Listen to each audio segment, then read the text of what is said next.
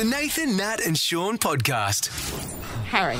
Hey guys. All that work you put in. Hey, guys. to We haven't got time for it, have we? How hard are you guys trying to dodge the debrief this week? My Trying. favourite thing is Harry now because he does the early show and he can't stop banging on about it. Um, uh, now that Harry does the early show, like this is now an albatross around Harry's that's neck. right. Oh, no, the early and show I just thought it'd be it. really funny if Harry has to do it each week and then every ev- each week we don't get a chance to play it. you know what? They're getting they're getting shorter and shorter. well, you got, you got to go for the hits, don't you? Yeah, that's Is that right. Because All we're right. giving you less and less material.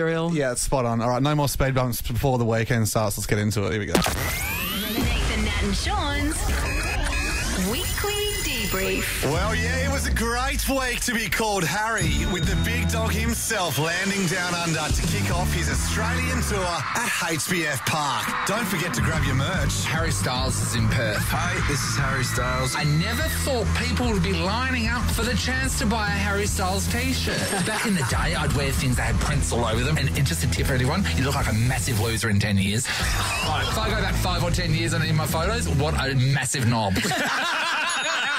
Harry Styles is, of course, responsible for some of the catchiest earworms.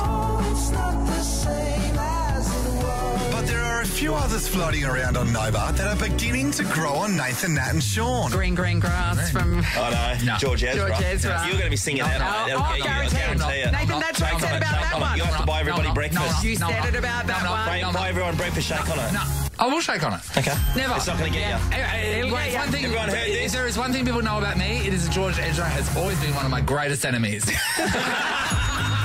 While Nate cemented his rivalry with George Ezra, Sean decided to once again declare his love for someone special in his life. Number one surfer in the world, Jack Robinson. I saw him up at Kalbarri, and we were surfing at this place, just me and um, my younger son, and he came in the water, and uh, so did I you. could- It was one of those moments where he was right next to me, and uh, I couldn't say a word. I didn't know how to. It would have been lame, whatever. I would have. I, Yeah, just, would I been. just knew it would have come out. It would have been for sure. Anyway, I'm on the well, radio. Surfing chat quickly moved to an area that Sean was very unfamiliar with. Nathan, We're having a Sean. conversation about expensive handbags at the moment. I know, we're not going to say to you, Amy. when I run down to get some like bread and milk, I use a Birkin. But Yes. you know what that means, Sean? is- no, oh, no, No, no, not fake pubic hair, Sean. That's a A Birkin. I said people don't recognise you.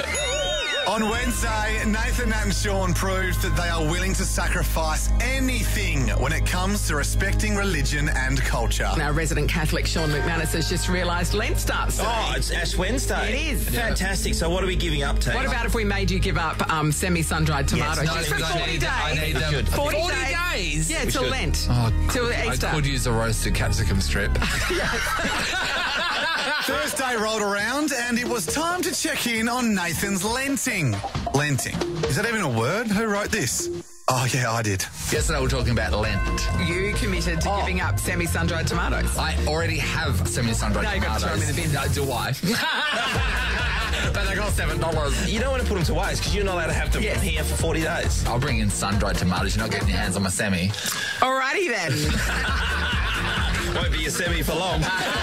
Okay, okay, all right, all right, that's enough. Let's wrap up this debrief with the song of the week. This song seems like something that everyone like you show inspirational clips on telethon. And there's all kids having a great time in a field. Blue sky. And all the doctors and nurses come out going, yeah. We're going like, "It's money, it's a great cause. That's what this song is.